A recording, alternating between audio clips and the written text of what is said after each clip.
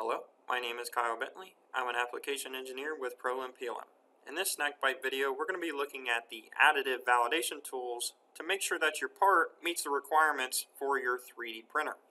So let's go ahead and look at those tools inside of NX12 here. So inside of NX12, you're going to see a new group on the Analysis tab.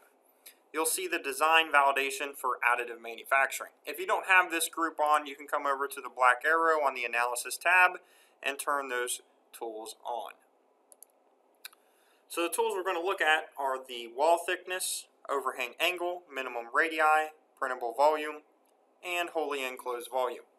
So let's go ahead here and take a look at wall thickness. So notice it goes ahead and selects the body.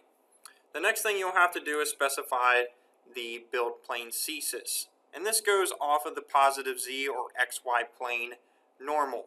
So what that does is it looks for any faces based on the XY plane normal or the positive Z that are less than the minimum thickness there.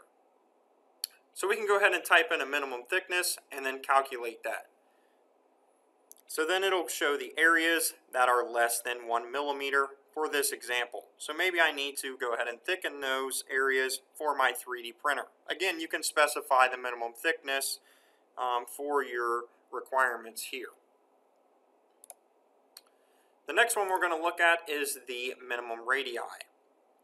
So notice with the minimum radius, this is a dynamic command Notice I have 0.25 millimeters set in here and none of the faces are selected. Also notice in this case I do not have show only less than minimum radius on. So it shows the um, faces that are more than 0.25 uh, millimeters as well on the, uh, on the radius there as well.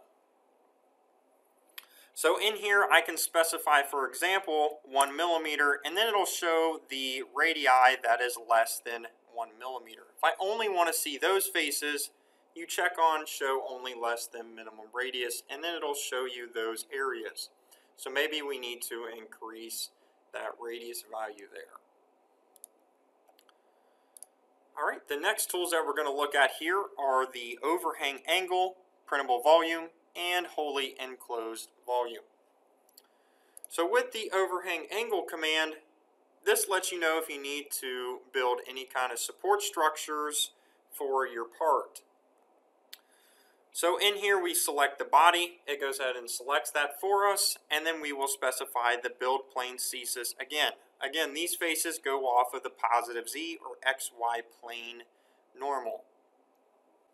So what this command does is it looks for any faces that exceed the overhang angle. In this case, I have it specified as 45 degrees.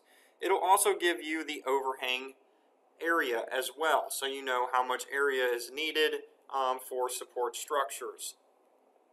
So notice that this goes off of the positive Z. I can click and drag it and notice it is dynamic.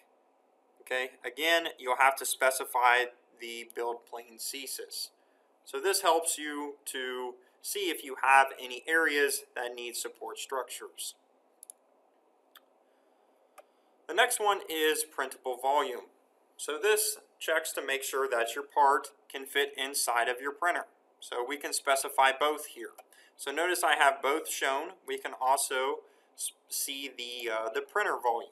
So there's my printer volume. You can also see the part volume as well. And then again, you can see both to make sure that it will fit. The last check is wholly enclosed volume. Now what this command does is it looks for a void or a cutout in your part to make sure that powder can be emptied from it. Now this technique is more used for a powder bed fusion um, 3D printer. You would not use this example for more of a material extrusion. So notice that it fails the check here, so I need to go ahead and put a void or a cutout in my part. So I'll go ahead and unsuppress a cutout I have. Notice it was suppressed and now it puts a cutout all the way through. Notice that this part is also shelled out as well. We can take a quick section of that to see that here.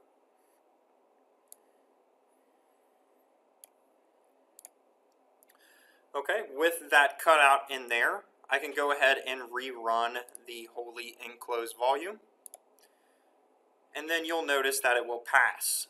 So with the powder bed fusion um, 3D printers, I can then empty the powder from the part once it has been 3D printed. So that is how we can use the validation tools to make sure our part meets the requirements for our 3D printer. ProLim PLM.